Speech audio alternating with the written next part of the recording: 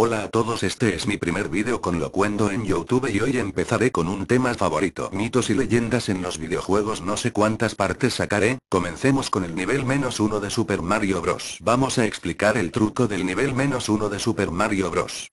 Este es sin duda uno de los trucos más raros en la historia de los videojuegos, ya que se puede llegar a un nuevo nivel utilizando un fallo del juego. Se comenta que este extraño nivel ha sido usado por los desarrolladores para testear el juego. Es una fase de agua, a primera vista, completamente normal como cualquier otra, sin embargo tiene algo que la hace especial. Una vez entras a ella estás, ya que en el caso de que la acabes volverás al principio de la pantalla con el tiempo que te quedaba. ¿Cómo llegar? La mayoría de gente que haya jugado al Super Mario conocerá el truco de la zona secreta de selección de mundo en la segunda fase. Pues en ese mismo lugar es donde tendremos acceso al mundo menos uno. Para llegar a él tendremos que saltar hacia atrás agachados después de romper un bloque del techo. Misteriosamente Mario atravesará la pared y llegará a la zona de selección de mundos. Pero esta vez el tubo tiene una planta piraña, si fueras por arriba no la tendría, y a dónde lleva es al mundo menos uno. Este el videojuego enterrado. Este es uno de los mayores fracasos de la industria de los videojuegos, en este caso de la compañía Atari. Desarrollado por Howard Scott Warsaw y basado en la película del mismo nombre que el juego, el cartucho de Ed fue publicado para Atari 2600 en el año 1982. Tras un éxito rotundo en taquilla por parte de la película de Spielberg, Atari tenía las ventas aseguradas del cartucho y decidieron fabricar varios millones de unidades, incluso más cartuchos que el número de consolas que se habían vendido ya que se esperaba que una vez saliese el juego todo el mundo fuera corriendo a la tienda para comprarlo y comprar también la consola si hacía falta. El juego del año se transformó en una pesadilla tanto para la compañía como para las víctimas que compraron el cartucho. Unos gráficos simples, una mecánica de juego que no ofrece diversión y un fallo enorme. En una parte del juego puedes caer en un agujero del que no hay escape posible y simplemente tocará apagar la consola. La leyenda urbana cuenta que como los costes de almacenaje del gran número de juegos eran caros y Atari no les encontraba ninguna salida en tiendas, decidió deshacerse de ellos enterrándolos de forma secreta en un desierto de Nuevo México. Hay gente que asegura haber ido al desierto y desenterrado algún cartucho, además los habitantes del lugar donde se supone que Atari enterró los cartuchos han puesto una que dice aquí descansa Ed y su familia. Conseguir la metralleta del jefe final en el Double Dragon Ya que mencionamos el Double Dragon, un clásico entre los clásicos de lucha callejera, habrá que hablar también de su leyenda. Se comentaba en recreativos y bares que en la pantalla final de este juego, era posible quitarle la metralleta al jefe. Tenía que hacerse en el momento que estaba mirando desde el balcón con la metralleta colgada en la pared.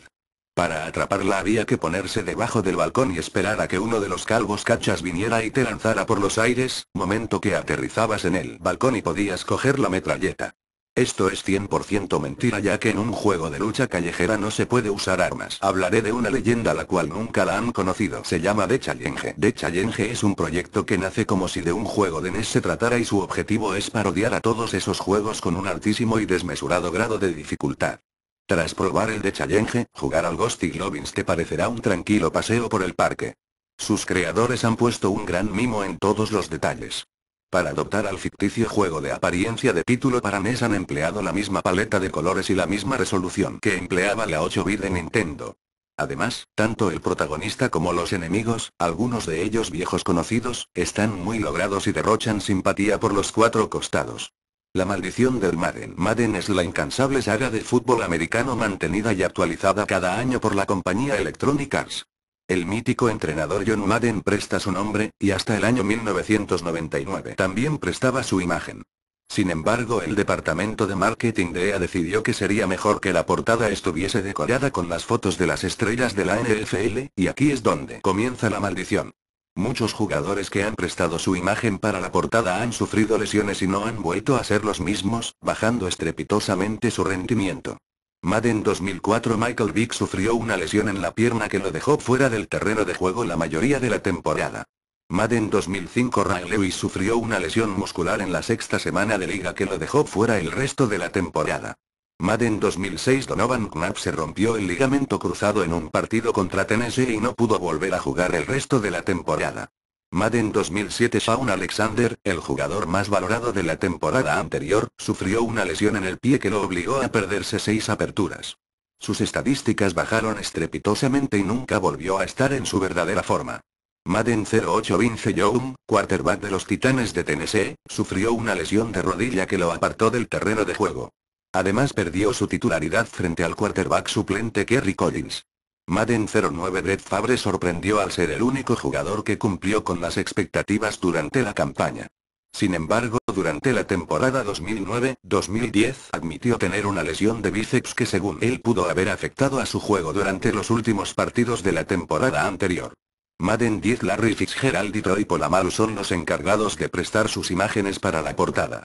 Larry ya ha caído lesionado la primera jornada del campeonato y más curiosidades sobre la maldición. Schreiser, director de marketing de EA, comentó que no creía en la maldición y que los jugadores tampoco. Greg Pearson, redactor del Milwaukee Journal Sentinel, achacó las lesiones a la dureza característica del deporte. Vince Young se burló de la maldición al anunciar que oficialmente iba a aparecer en la portada del MA en 2008. Además declaró que iba a intentar llegar a los playoffs y ganar la Super Bowl y GameSpot y la CNBC informaron de que un gran número de aficionados se opusieron a que Tomlinson apareciese en la portada de Madden. Incluso se llegó a crear la página web de protesta http sabelfromaden.com. Finalmente Tomlinson declinó la oferta, pero señaló que se debía únicamente a que no le satisfacían las condiciones del contrato. Sangre en el Mortal Kombat de SNES. E el Mortal Kombat de Midway sorprendió a los jugadores de todo el mundo por dos motivos. Sus gráficos digitalizados impresionantemente realistas, creados a partir de actores de carne y hueso, y su ultraviolencia característica. Y como todo juego de éxito fue versionado para las videoconsolas domésticas. Mientras que los jugadores de Mega Drive disfrutaban del modo ultraviolento tecleando en sus pads el nombre de un álbum del grupo Genesis, Abacat. Los jugadores de Super NES buscaban en revistas especializadas un código que les funcionase a ellos. Los rumores aseguraban que era posible pero esos rumores surgieron de las personas que habían jugado a la versión de Mega Drive, y Sega se apuntó un buen tanto en plena competencia de las 16 bits. Nintendo había eliminado la sangre del juego de Midway debido a su estricta política en cuanto a contenidos violentos. Adiós, comenten que no les cuesta nada y si quieres suscríbete adiós y hasta la próxima.